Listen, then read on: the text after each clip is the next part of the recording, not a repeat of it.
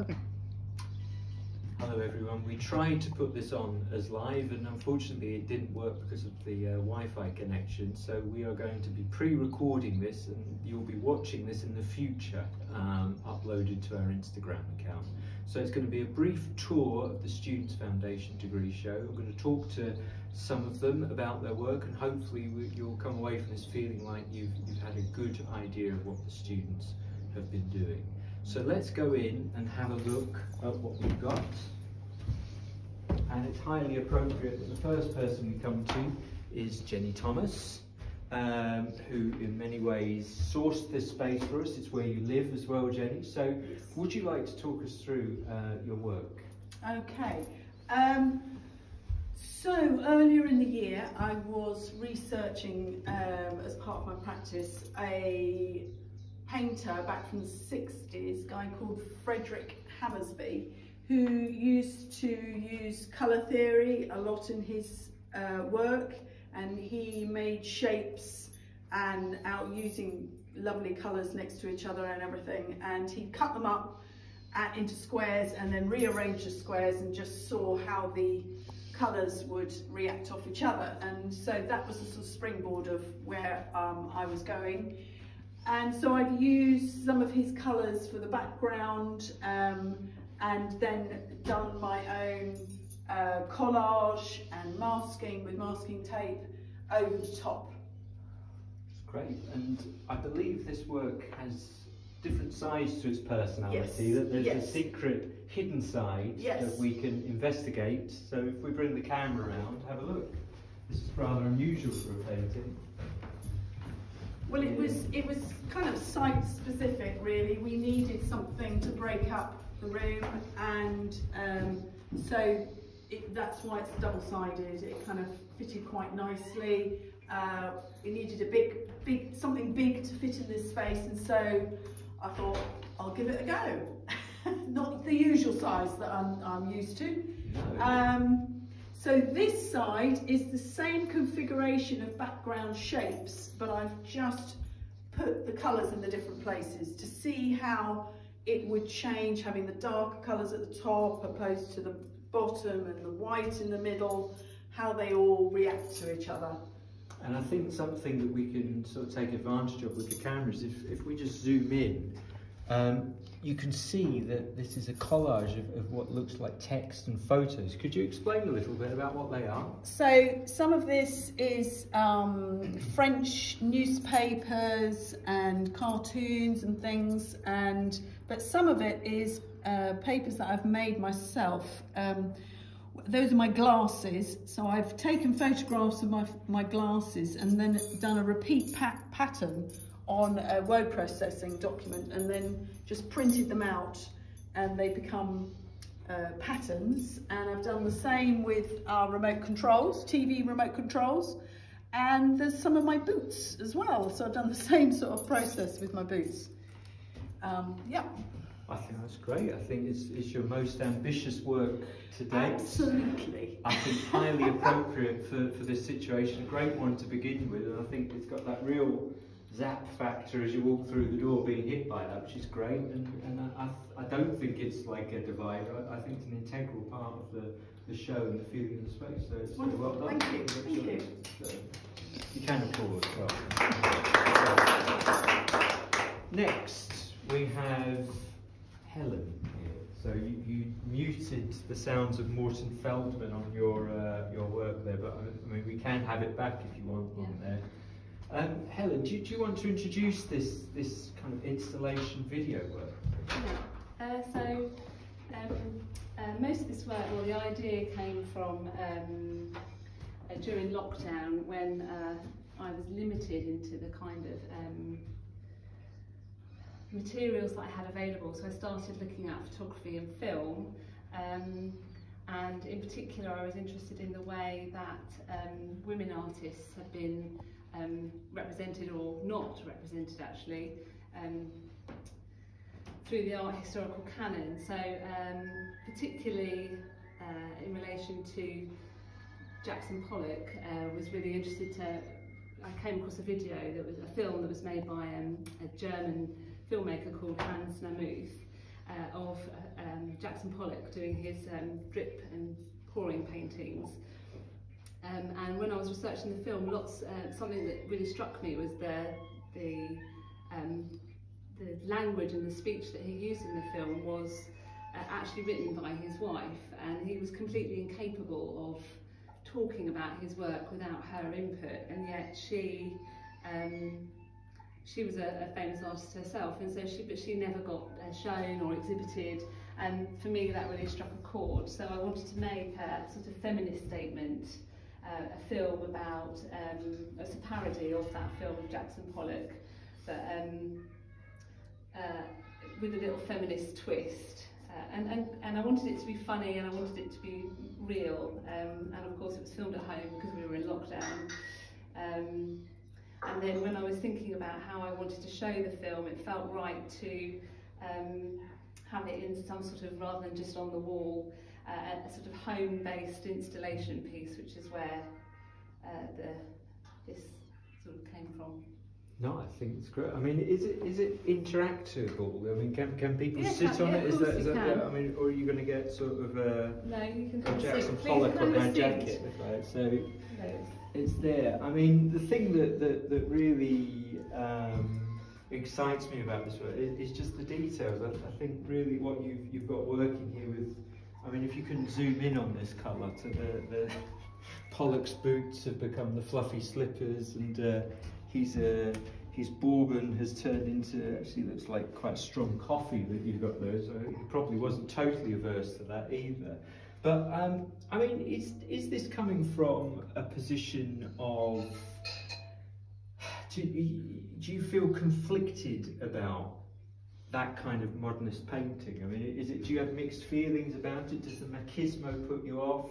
You know, Um, no, I think um, I, I really I like the modernist painting, and it's not a, a criticism of Pollock or anything like that. But it's more just about um, uh, highlighting the fact that women also had a place uh, as modernist painters, and um, I wanted to make that point about the fact that women are, can paint art in exactly the Mm. same um, way, even when we're stuck at home and we don't have um, studios and and all the rest of it. So we can make pillowcases and you know, it doesn't have to be a pillowcase, but we can make art at home um, without. Well, I, I feel like we should also say it's quite interesting that you're referring to Jackson Pollock's wife, Yes. when actually Yeah. Lee Krasner Krasner. is, a, which was her name, is Yeah. is a is a is a very substantial, very important artist in, in her own right as an abstract painter, but has forever, or for at least in the, the 50 years since Pollock died, until she started to assume a, a, a better position in the art historical canon, was always Jackson Pollock's wife, wasn't Yeah, it? So so it's good that that's been put back and put right. So. Uh, but I think it, it's a it's a it's a really good piece. It's it's very well the detail of it. If, if anyone knows the uh, the famous uh, Hans Namuth Pollock video, it, it, it's extremely uh, good the way that you're you're working Well, that language. I used the um, actual soundtrack that uh, features in the film um, t- in the background when I was making my film, so that's some of the actual yes, music. That's great. Nice to hear a bit of Morton Feldman in the afternoon. So that's great. Thank you very much for that, Helen. Well done. So we're going to just hit your slipper. Sorry about that. So um, I'm going to talk about Neil Neil Easthorpe's work here. So could you could you just go because actually this this this benefits looking at it's a it's a kinetic sculpture. It, in some ways, this work um, I'm I'm going to sort of extemporise uh, for Neil on this. He's let's borrow his phone.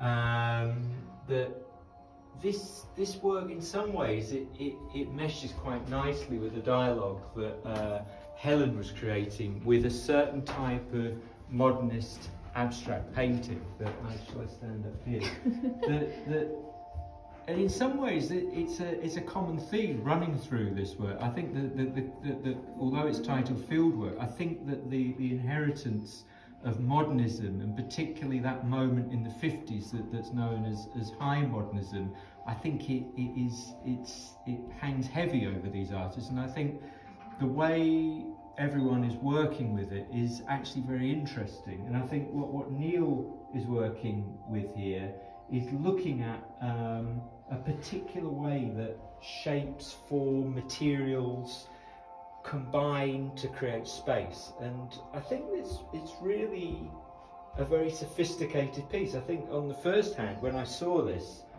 it was there was a sense of wonder uh, kind of looking because I, I, wasn't quite sure how it's moving and it, it's just moving by its own sense of momentum and weight and then here if you can't quite work it out there's a there's a video next to it that's set within the concrete so you have the, the real thing and then a representation of the thing so in a sense it's creating a distance to, to, to the modernist language that it's referring to, the, the, the, the work of the 1950s. Um, in particular, people like the English constructivist painters would be uh, a point of reference here for Neil. Um, and I, I, find that really exciting, this, this, this two screen, one is virtual, one is real, two types of space and two types of opportunities for us to enter into that space. So um, I, find it um, it's a very, very interesting uh, piece to look at. And very interesting the way this little corridor, this fire escape corridor, has been um, repurposed into a showing space. So it seems quite casual seeing it there. You almost are surprised when you come across it. And actually, it's useful because it does draw you in. And uh, maybe we look at that in a in a certainly more intense way than we would have perhaps if it was situated amongst here. So well done, Neil. Congratulations. Moving on. So here's one. Now, this is work by Louisa. There's Louisa. So um, again, I'm going to talk a little bit about Louisa. The first thing to say is that in the studio, let's just come in and look at how this is made first. It's actually made with, uh, I believe they're IKEA pencils, or, or I suppose in another life they would have been like bookies pens, wouldn't they? Um, and there, there has been an element of them being sanded down and, and configured into this sculptural combination.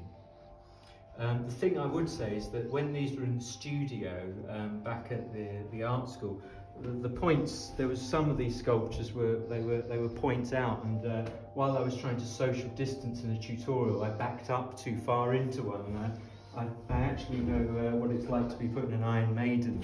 of, uh, I, it's not pleasant. So I'm rather pleased Louisa has put it this way. Um, I mean, when I look at this work, this this angle, if you could take this angle, you know, the, this angle, it's a fascinating, almost like honeycomb, or, or again, the, that language of a, a certain type of modernist design or, or structure appears on there. Um, but then, as we turn, as we go nearer, we start to realise that these units, they're, they're not um, a kind of product of deep artistic thought. They're, they're found objects, that they're, they're quotidian, um, everyday, quite disposable little wooden pencils. When we turn here, and we actually take this angle, and this is where it's very successful in, in terms of how it's utilizing different angles and, and sculptural formats um, on, on this sculpture is suddenly there, there's a there's a violence appearing on here. If we come around the other side as well, um, it, it's there's an absurdity to it. it. It's quite funny, but on the other hand, it's actually quite threatening. I'm quite glad that it's sort of pushing there. It's almost like a, a hail of arrows firing in. Um, I mean, this, this work makes me, I think in the one hand, when I'm on this angle, I kind of find it a very interesting piece of, uh, you know, it's, it's, a, it's, an interesting proposition, the way the shape and the form work on it. I think the way the materials go together, the, the multiplicity of the same units repeating. And then moving here, you go from that very um, detached thoughts about it to this, which is actually quite visceral and it, it, looks quite painful. Well, it is painful. I can I can attest to that if you you, you get on the wrong side of it. So um, it's a funny piece. It's a thought-provoking piece, and, and I think it's visually very powerful as well. So congratulations, Louisa. Well done.